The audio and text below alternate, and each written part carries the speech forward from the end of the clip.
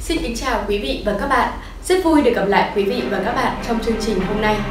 Thưa quý vị, trong dòng chảy suốt hơn mấy ngàn năm qua của lịch sử Việt Nam, có những câu chuyện, nhân vật sử Việt mà nếu người thời sau nhìn vào, họ sẽ thấy được, học được rất nhiều bài học đáng nhớ. Những bài học đó không bao giờ cũ, mà trái lại chúng luôn sống mãi trong dòng chảy lịch sử Việt Nam khi một triều đại bắt đầu đến thời kỳ diệt vong.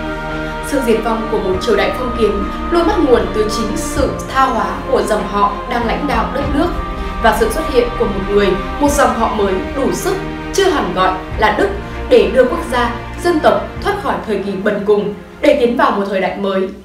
Nhân vật lịch sử đại diện cho thời kỳ giao thoa đó luôn mang hai mặt trái ngược nhau. Một kẻ là gian thần cướp ngôi vua của triều cũ và hai là đại khai quốc công thần của triều đại mới.